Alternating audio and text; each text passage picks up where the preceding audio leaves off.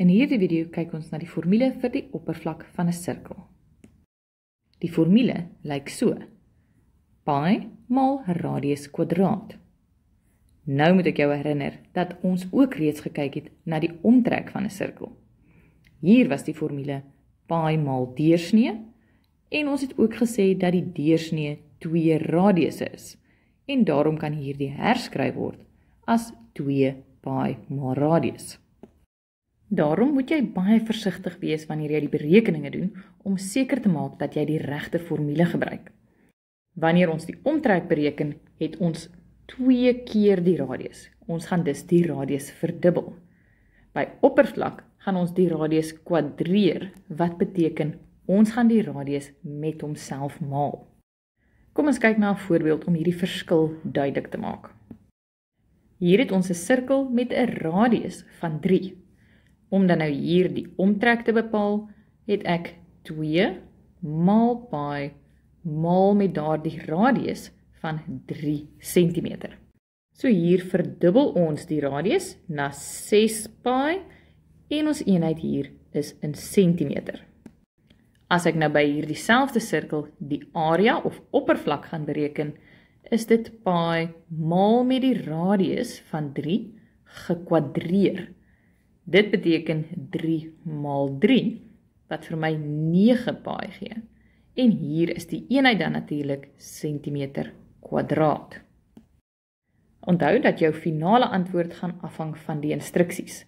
Jy kan of jou antwoord in terme van paai los of afrond.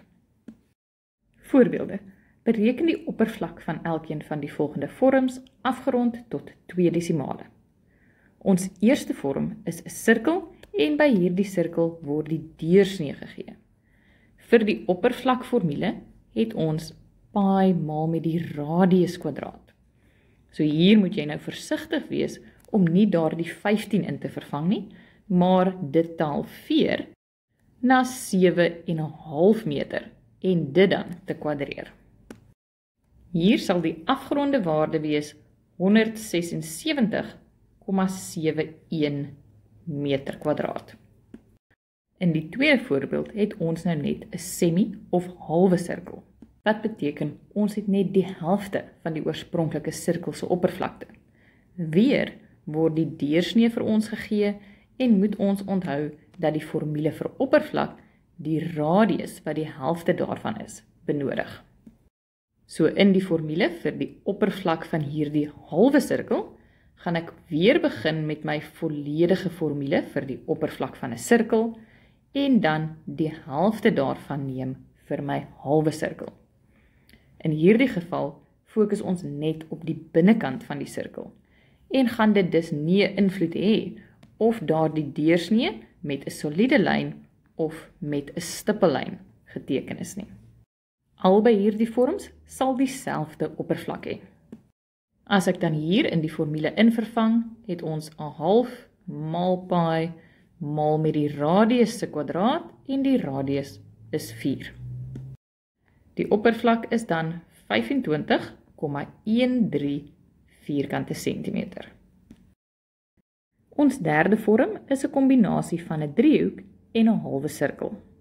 So vir ons oppervlak gaan ons dus die formule vir 'n driehoek moet gebruik wat 'n half maal die basis maal die loodregte hoogte is en dan daarby die halwe sirkel tel wat die helfte van pi radius kwadraat is.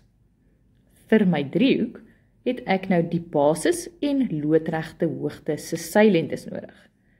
My basis is gegee as 5, maar die loodregte hoogte moet ons nog eers gaan bereken.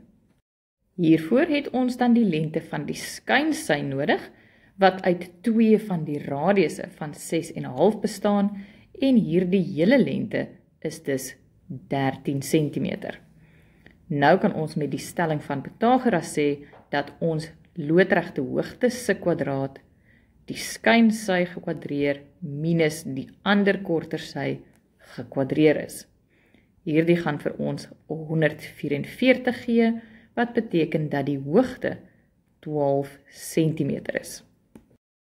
Om dan nou die oppervlak van die driehoek te bepaal, het ons 'n half maal met die basis van 5 en die loodregte hoogte van 12.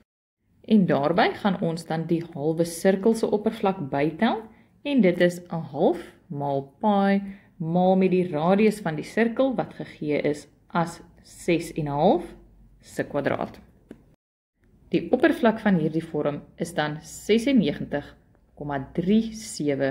vierkante sentimeter. Voorbeeld 4.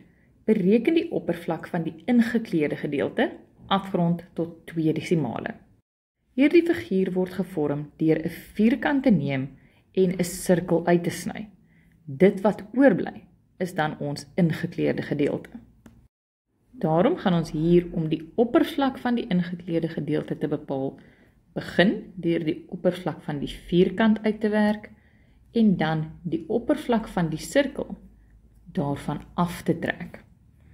Vir die oppervlak van die vierkant het ons reeds die lengte van die sye en gaan ons die 30 kwadreer. In die formule vir die sirkel het ons die radius van die sirkel se lengte nodig. Hier moet jy dus besef dat die deursnee van die sirkel dieselfde as die lengte van die sye van die vierkant is en daarom is die radius die helfte daarvan en 15 mm. So hier het ons pi maal 15 se kwadraat. Die oppervlak van die ingekleurde gedeelte is 193,14 vierkante millimeter. Nou behoort jy die formules vir die omtrek sowel as oppervlak van 'n vierkant, reghoek, driehoek en sirkel te ken en kan gebruik.